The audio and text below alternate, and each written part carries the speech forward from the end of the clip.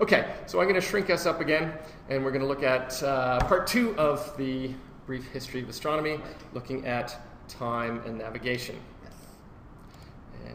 This is a, a fairly simple device, but it's quite accurate because there's a little hole here, and the object is you point it at the sun, and the sun would then make a you know a little dot down here, and uh, by doing that you can then position these needles um, to get the sun in that position, and then you can tell exactly what the, the altitude of the of the sun is. And in terms of making sure it's lined up properly, they usually have some way of measuring where the center is directly below the dot. Uh, yeah, they would often have like a crosshair or something there. And the other thing is, is by holding it up here, the thing it hangs by its own weight, so it's always kind of hanging vertical. Um, so this was a, a used by uh, ships, uh, navigators or, or mariners, um, and this one's from 1608 in Portugal. Uh, this device is a much more sophisticated piece of apparatus, and we actually have one here. This is this one belongs to Miss Russell, and it's the same, uh, pretty much the same as the one in the diagram. Uh, it has a ring at the top again, so you hang onto it, uh, and then it has these dials that rotate, and it has a pointer on the back that you can adjust uh, so that you line it up to the sky, and then you read the information off the front. And it's it's really quite uh, sophisticated and complicated.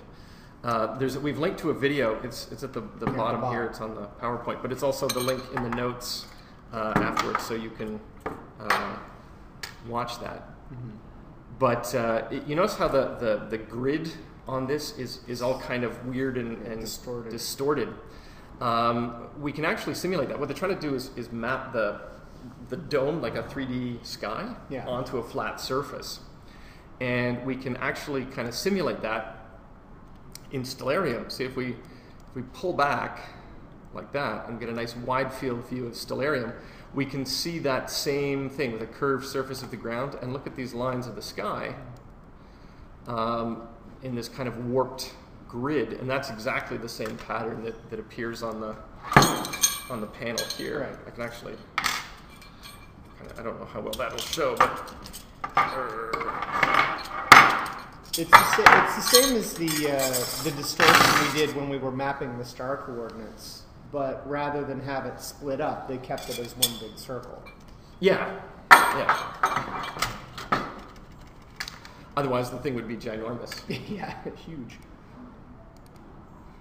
Okay, this is another astrolabe. It's called a clock. It's the um, the astronomical clock in the old uh, town square in, in Prague. It's actually my favorite clock on Yeah. the planet, and I'm nerdy enough to have a favorite clock. And this is on a clock tower, so it's massive. It, it is, and it's old. The the mechanism on this clock actually predates Galileo, so it doesn't use a pendulum, which is kind of cool. But it's the same as an astrolabe. It, it marks the ground and the positions in the sky. Uh, it has the, the time around the edge, so you can use it as a clock if you can figure out how to read it. Uh, and this disc here is the ecliptic. And uh, notice all those symbols on the Yeah. ecliptic. Yeah, those are the astrological symbols for the you know the astrology sorry the astrology signs. So you know Virgo, Capricorn, Pisces, things like that. And if you can read the symbols, you know which ones are which. Right.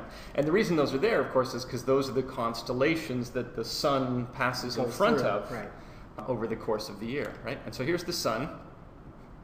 Uh, and actually, here's the moon up here. This tracks the moon as well, and it actually rotates and, and shows the phases of the Phases, moon.